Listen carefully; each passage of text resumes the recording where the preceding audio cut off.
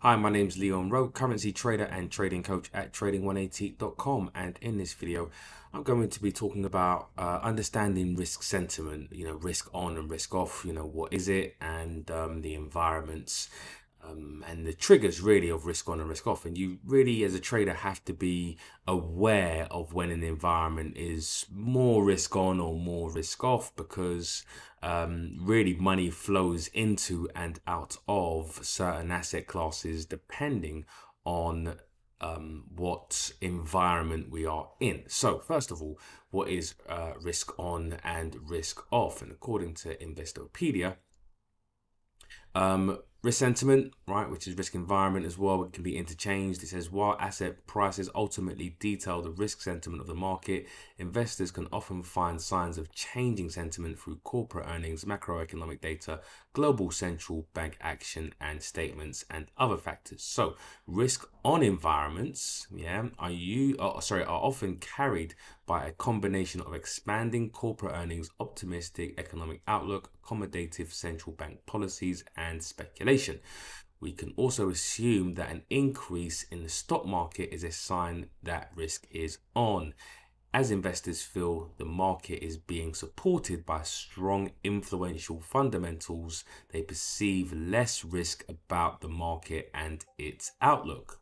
Conversely, risk off environments can be caused by widespread corporate earning downgrades, contracting or slowing economic data, uncertain central bank policy, a rush to safe havens, and other factors. Just like the stock market rises relating to a risk on environment, a drop in the stock market equals a risk off environment. That's because investors want to avoid risk and are averse to it. So, risk on is when traders want to put more risk on the table. Yeah.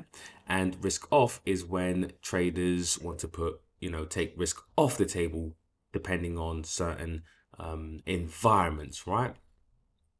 And so um, when thinking about risk on and risk off, it's not necessarily a binary uh, state. It's not either risk on or risk off.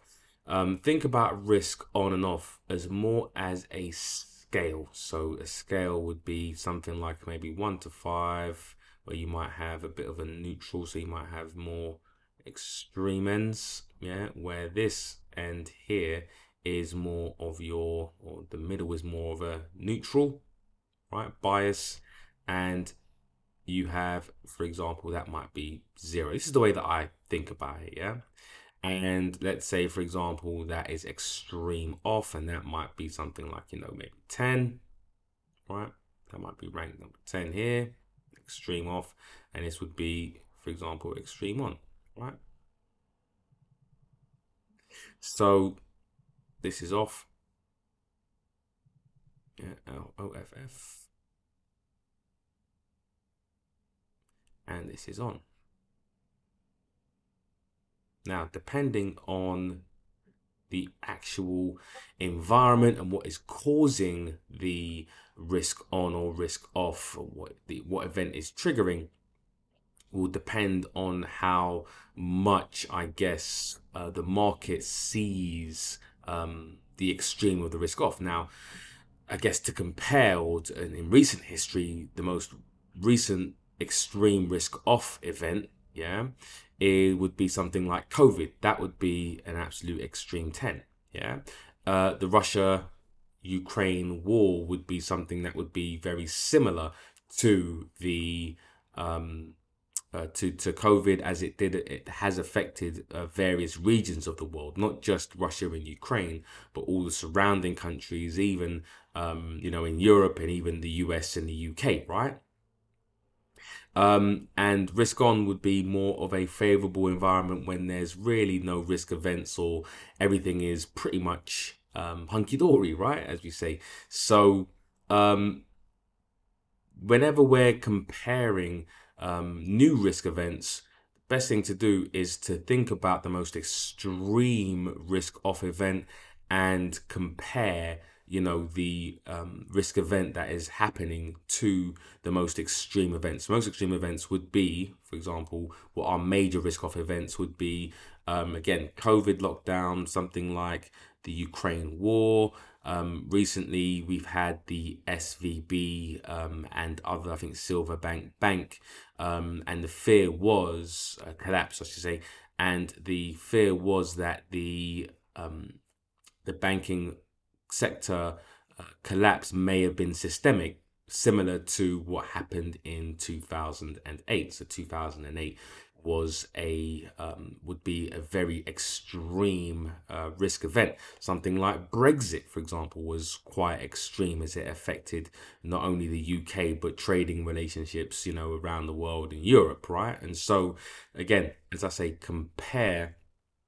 Um, if you're looking at um, you know the degree of risk off and where are we, it is you know quite subjective, but if you kind of compare it to the most extreme um, uh, risk off events that we've had in recent history or over the last, you know, 10, 15 years, is the current um, risk off event that we may be experiencing in the financial markets is it comparable to the most you know extreme event. And if it isn't then you can kind of place it maybe four five sixes etc around there. Or maybe what just one twos and threes right? It could be somewhere around there. Again it, it is it can be a bit subjective but at least it gives you a rough idea as to how extreme it might be. And one of the things that we have to be aware of is you know the papers sensationalizing uh, risk events. Um, but always know that risk events, no matter how bad they get, will always be priced in, meaning that the market will eventually reach a valuation as to you know what the um, the effect on uh, the risk event will have on asset prices. So think about, for example, the recent um, Russia Ukraine war, right? Now, uh, when it first started in uh, around February, March times uh, last year, this is the dollar Russian ruble. We had the Russian ruble absolutely um, devalue against uh, major currencies like the dollar. But eventually, that was um, the event was eventually priced in in terms of how bad was the um, the Ukraine war on the Russian ruble, right? There are many different factors, but ultimately, the uh, risk event gets uh, gets priced in. If you go to and if you go to somewhere like the um, something like the um, um, let's say we go to Aussie yen or any currency and we go back to 2020, we look at the risk off event, which was COVID. Eventually, it got priced in to the point where um, the market started to forward think. And this is what the market does the market thinks forward and into the future and thinks, okay, this risk event, will it last forever or how long will it last? And what are the future valuations if it doesn't last or if we come to some sort of conclusion. And so, as bad as risk events tend to be, they typically A get priced in, and then B, what then gets priced in is, um, I guess, the solution, right? And moving forward and how we move forward uh, as a, either a country or you know as a as as a as, as the world, right? And our ability to overcome certain issues and problems. For example, you know, is there you know peace in the world, etc., etc. So, you know, that is really um, uh, it's really important to understand that that risk of sentiment yeah can drive prices to actually where you want to be a buyer because once the dust settles yeah once the risk off dust settles eventually what will happen is is that investors will start to then um, look for bargains right? They will accept the fact that price for this you know asset in a risk off environment is this. But what happens when in fact risk becomes more on? That asset then starts to become or look like an actual bargain and then buying you know typically tends to happen. And again going back to the chart that's really what happened with uh, the australian dollar. Typically the um, the japanese yen is seen as a risk off currency and we were still in the grips of covid even into may june july by the end of the year. But what was driving the australian dollar higher against the japanese yen which typically shouldn't happen was several factors. So one of them was an impending um, vaccine right that was um, um, you know a, a, resolution to COVID. Um, also, as well, the fact that Australia handled the uh, COVID lockdown uh, better than most countries, and they were seen as actually um, growing first. One of the countries that would probably end up um, growing first in terms of GDP, um, whereas a lot of other countries didn't handle the COVID lockdown very well, Japan being one of them.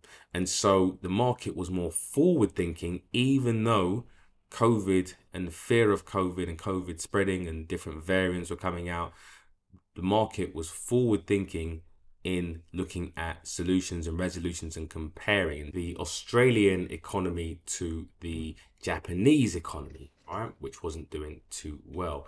And so, again, going back to um, understanding that risks off risk off events will eventually be priced in. And also it gives investors an opportunity to actually buy undervalued assets whether it's stocks whether it's exchange rates etc now how to know when the risk off or risk on um, sentiment um, sorry, let me just read that again. So, how to know when risk is off or on, and to what degree, right? And that's really the uh, the, the, the key question. And um, it will take some time for you to and experience for you to really kind of get a grip on it. And even then, it's very it's it's quite hard to do. But um, you know, your best educated guess is that you want to look towards um, publications like Bloomberg or the Financial Times or Reuters and actually look at the front pages, right? The headlines. And so, you know, today is uh, Monday, the 3rd of April. And we look at the front page of the news and we have, for example, the recent um, news is OPEC makes shock uh, million barrel cut in new inflation risk and inflation crisis pulls European countries into a food fight. Uh, Putin's war may be reaching pivotal moment.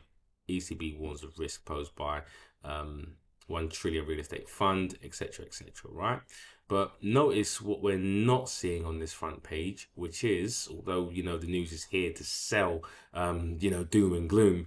Uh, certain times, what we're not seeing is um, the recent risk um, event crisis, which was the banking collapse, right? So, um, you know, in terms of, you know, SVB Bank being systemic, right? We've got other um, issues going on. And so when we had the uh, SVB Bank uh, bailout, Deutsche Bank being bailed out by UBS, etc., and, and the issues that those banking, um, you know, giants had, it would have been, it would have looked the front page of Bloomberg was looking very, um, you know, one-sided in terms of there was just a one-way story. Yeah, but now you have various different stories, and so when you want to understand, okay, well, is one headline dominating uh, the risk on and risk off sentiment and how severe it is? Look at the variety of the stories on the front page of any major news publication. If it's more varied, probably means that risk is um, less off. I wouldn't say it's necessarily on because I don't think there's any, ever going to be a time where there's nothing to really kind of worry about, right? Again, good news doesn't sell, but to the varying degree of, um, you know, certain risk events, if it's really kind of focused and concentrated on one story or maybe one or two stories, then you know that you're probably more in a risk off environment and that the market is really focused on that narrative rather than, okay, the varying degrees of stories from around the world. Yeah, that will probably mean less risk off. Yeah, so again, we you know draw as a scale understand it as a scale yeah where you have varying degrees of risk on and risk off. Like this being risk off this being probably more neutral.